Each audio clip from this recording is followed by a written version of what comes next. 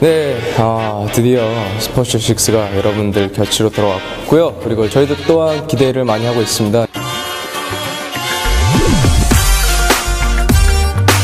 여러분들 빨리 만날 생각에 어, 설레기도 하고 지금 준비 중인데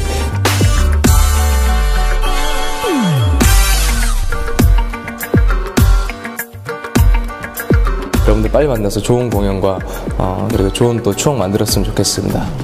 기대해 주십시오.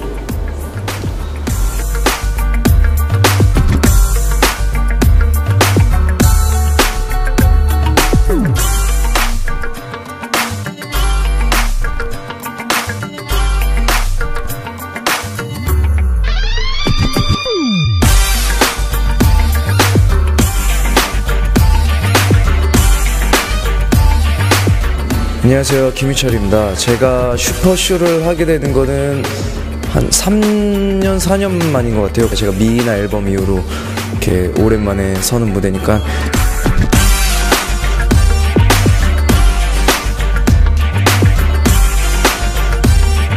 굉장히 긴장되고 또 떨리고 또 어떤 무대를 꾸밀지 많은 생각들을 하고 있습니다.